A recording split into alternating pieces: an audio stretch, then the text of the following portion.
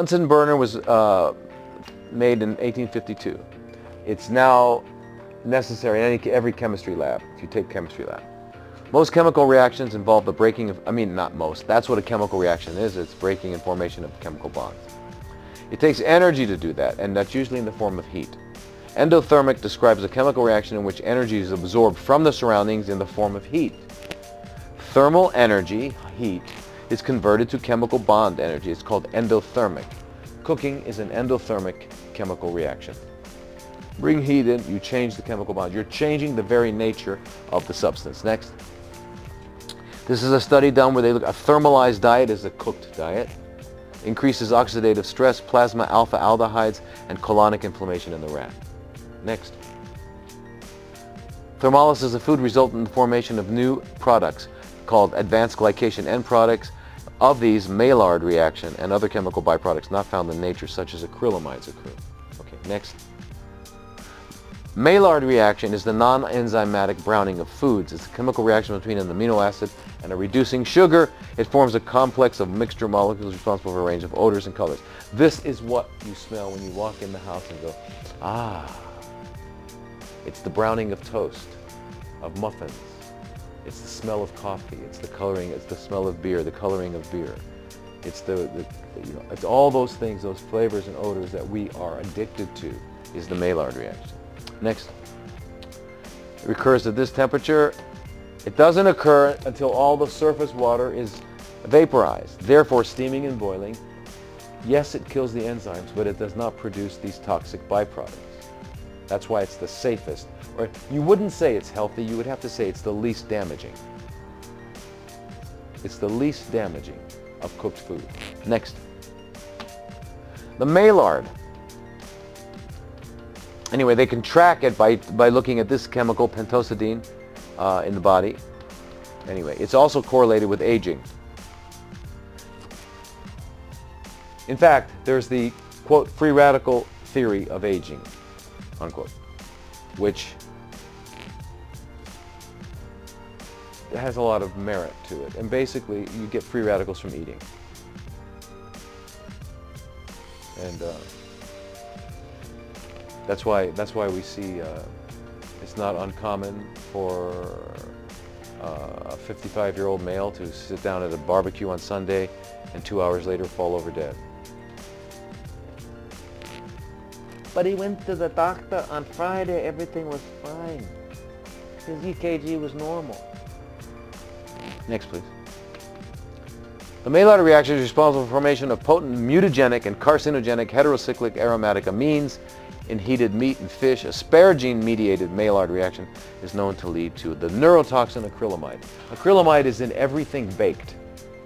Baked potatoes, bread, etc. have acrylamides. It's a neurotoxin. So if you're really interested in getting, uh, uh, improving your chances of getting Alzheimer's, go for it. Next, please. Acrylamide. And it also is a risk for cancer. The National Toxicology Report blah, blah, blah, has said that it's a probable human carcinogen. Probable. Now you see, in, in, in order to get something published in a scientific journal, you have to use the word probable. Okay? So, here it is. Guy holds a gun up, pulls the trigger. The probable cause of death, death was the gunshot wound. Then you can get that published. If you say it caused it,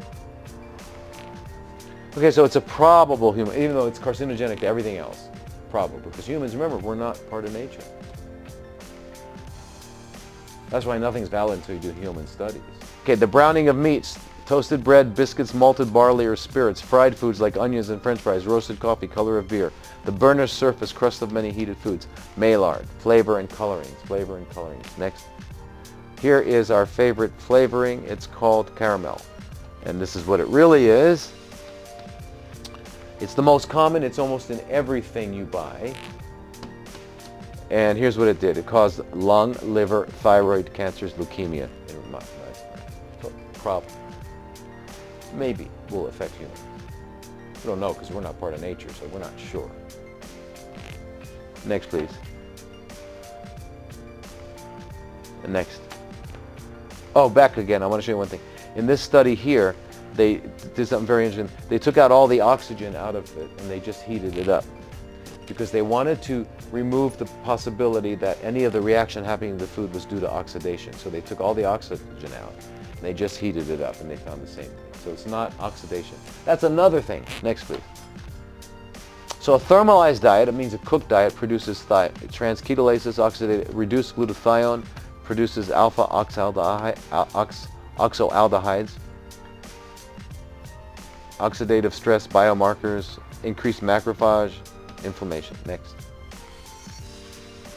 So, crypt. Crypts are those little pockets in the in the colon.